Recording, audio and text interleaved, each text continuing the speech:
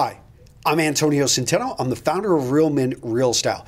Gentlemen, today we're going to talk about eye contact. How much eye contact should you have to have the most power when it comes to persuasion? I know common wisdom out there is you always look somebody in the eye and you're going to be more likely to persuade them. But I've got some research here today which is going to challenge that. And in some situations, yes, you do you want to have eye contact. Other ones, not so much. Okay, before we get into this, gentlemen, I'm going to ask you to subscribe to my YouTube channel. That way, these videos come right to you. Don't miss any of my ghost videos, which I put out occasionally, and only subscribers are going to get those. In addition, if you like this, if you find it useful, I appreciate the like, and let me know in the comments what you think. Maybe you've got some personal stories dealing with eye contact. I like to get down there in the comments, see what you guys are saying, learn from you, and interact. Okay, so this is based off a 2013 study done over at the University of British Columbia.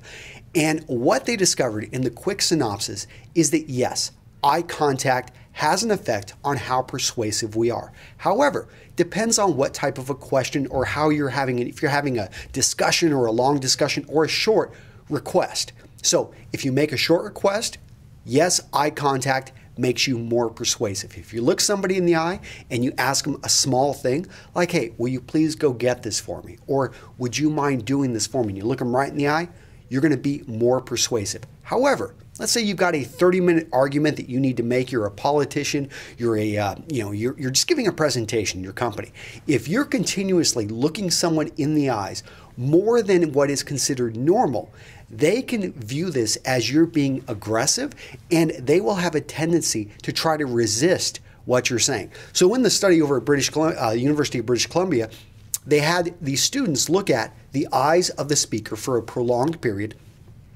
and they also had them look at the mouth of the speaker for a prolonged period.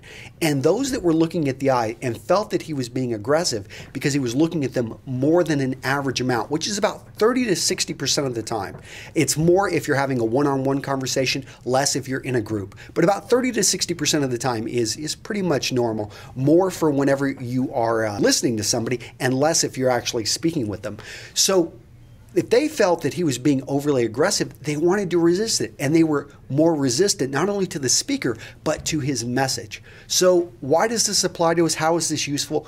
Understand that if you're going to make a small request, eye contact, great if you're going to be talking with a person for a longer time and if you don't know them very well. So, another thing in this, this study is that they did not know the speaker very well. If you're having, you know, this is someone that you know and you've got a strong relationship with, you will most likely normally have higher percentages of eye contact. But realize in those longer discussions, especially if you're speaking to a group, it's okay to look around, occasionally look at someone. Uh, maybe you know you can offset it also with a smile so that they feel it's not very aggressive.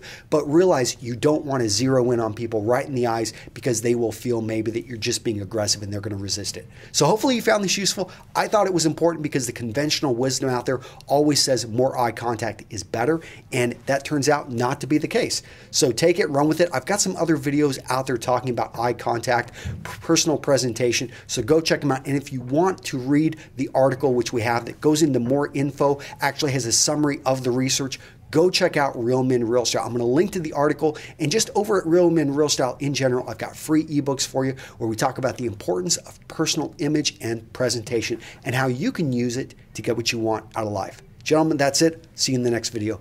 Bye.